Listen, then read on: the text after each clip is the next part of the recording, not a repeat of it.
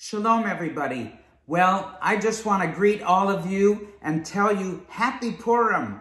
This is a great celebration as we remember the scripture readings in the book of Esther and the deliverance of the Jewish people who, through their survival, would bring us the Son of David, King Yeshua, the Lion of the tribe of Judah.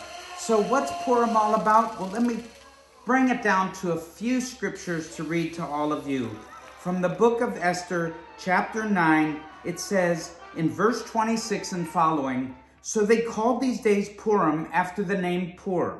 Therefore, because of all the words of this letter, what they had seen concerning this matter, and what had happened to them.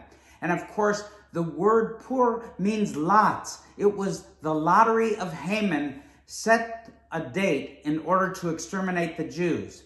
But he who sets a trap dug a pit for himself, and was hung at the gallows.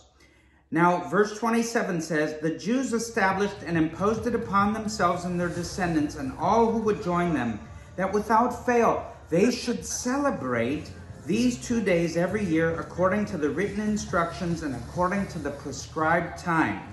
That these days should be remembered and kept throughout every generation, every family, every province, and every city, that these days of Purim should not fail to be observed among the Jews, and that the memory of them should not perish among their descendants. Well, during Purim, we read the Megillat Esther twice. We shout and boo the name of Haman because we're rejoicing of God's deliverance for the Jewish people from Haman and, of course, his type of descendants.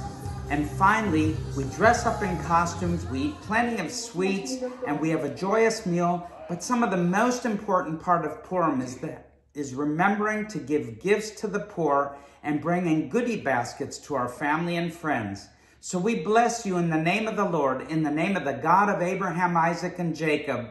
Greetings this Purim.